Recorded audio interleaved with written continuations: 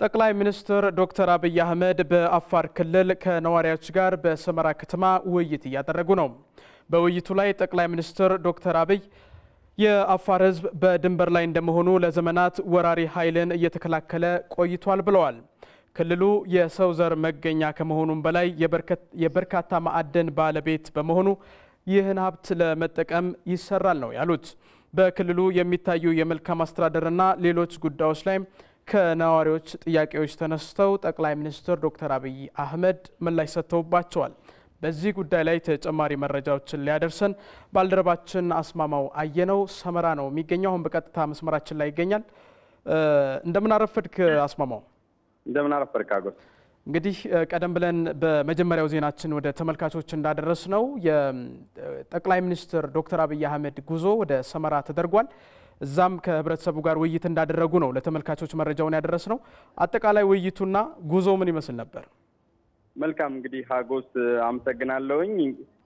ጠቅላይ ሚኒስትር ዶክተር አብይ አህመድ ወደ ስልጣን ከመጡባቸው ጊዜያት ጀምሮ በተለያዩ የሀገሪቱ አካባቢዎች ከማህበረሰቡ ጋር ውይይት ሲያደርጉ እንደነበረ የሚታወስ ነው። የዚህ አንድ አካል የሆነ ነው የአፋር ክልል ከክልሉ ነዋሪዎች ጋር በሰመራ ከተማ ውይይት እያደረጉ የሚገኘው እንግዲህ በውይይታቸው መጀመሪያ ላይ ጠቅላይ ሚኒስትር ዶክተር አብይ አህመድ ያነሷቸው ነገሮች አሉ። በዋናነት በተለይ የአፋር ክልል የሰው ዘር መገኛ ወደሆነ የአፋር ክልል መምጣታችን ትልቅ ኩራት ይሰማናል ብለዋል። በተለይ የአፋር የሚታወቅባቸው እንደ ዳጉ አይነት ባህላዊ እሴቶቹ ሁሌም የሚዘከሩለት ናቸው ብለዋል።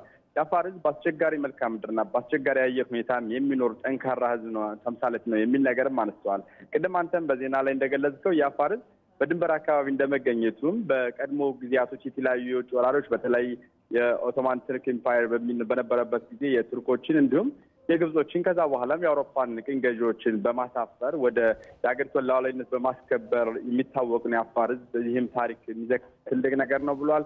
ኢትዮጵያዊነቱንና ባንዲራውን አጥብቆ የሚወድ ነው የአፋር ሕዝብ የሚል ነገርም ገልጸዋል። በተለይ ኡስማን አሊ ቢራ አንድ በአንድ ወቅት የገለጹት የአፋር ሕዝብ ብቻ ሳይሆን የአፋር ግመሎችም የኢትዮጵያን ባንዲራ ያውቃሉ የሚሉትንም ንግግር ጠቅላይ ሚኒስትሩ አንስተውታል። የአፋር ሕዝብ በቱሪዝምም በተለያዩ መልኮች በጣም በርካታ ሀብቶች ያሉት ህዝብም ነው የሚል ነገርም አንስተዋል። ይህን የቱሪዝም ሀብቶች መጠቀም ላይ ነው በቀጣይ ሊሰራ የሚገባ የሚል ነገር አንስተዋል። እነዚህ በተለይ የቱሪዝም ሀብቶቹ በጣም በርካታ ከመሆናቸውም አንጻር በአጠቃላይ ሀገሪቱ ደግሞም እንዲሁም የአፋር ህዝብም ተጠቃሚ የሚሆንባቸው መንገዶች ሊታሰብባቸው ይገባል። ትኩረት ሰጥቶ ይሰራል ብለዋል። ከዚህ ባለፈም የአፋር ህዝብ እንደ ፖታሽ ያሉ ለበርካታ ለፕላስቲክና ለተለያዩ ስራዎች የሚውሉ ሀብቶችም አሉት። እነሱንም የተፈጥሮ ማዕድናትንም የመጠቀም ሁኔታ ሊቀጥል ይገባል የሚል ነገር አንስተዋል። እንግዲህ የጨው ሀብትም አለ። እሱም አንድ እንደ አንድ ትልቅ ሀብት ተይዞ በትኩረት ሰጥቶበት በመንግስት ሊሰራ ይገባል የሚል ነገር አንስተዋል።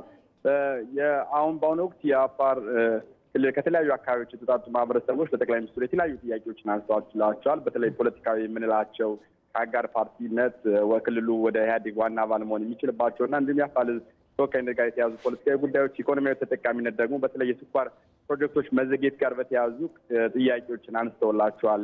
የአፋር ከተማ ክልል የተለያዩ ማህበረሰቦች በዚህ በሰመራ ከጠቅላይ ሚኒስትሩ ጋር እየተወያዩ ያሉት ማለት ነው። በአሁኑ ወቅትም ጠቅላይ ሚኒስትር ዶክተር አብይ አህመድ ምላሾች እየሰጡ ነው የሚገኙት።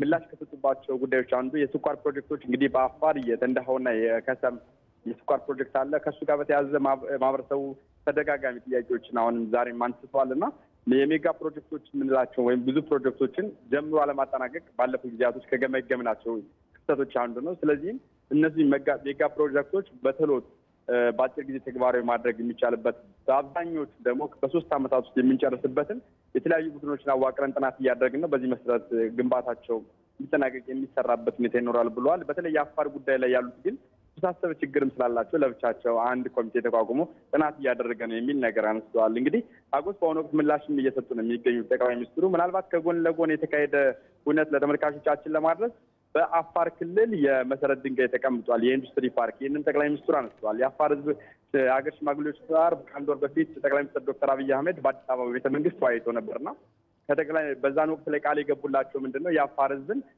የኢንዱስትሪ ፓርክ ተጠቃሚ በማድረግ የስራ አጥነት ችግር እዚህ በክልሉ ያለው ለመቅረፍ እንሰራለን ብለው ነበር ጠቅላይ ሚኒስትሩ። በዚህ መሰረት ዛሬ መሰረት ድንጋዩ ተቀምጧል።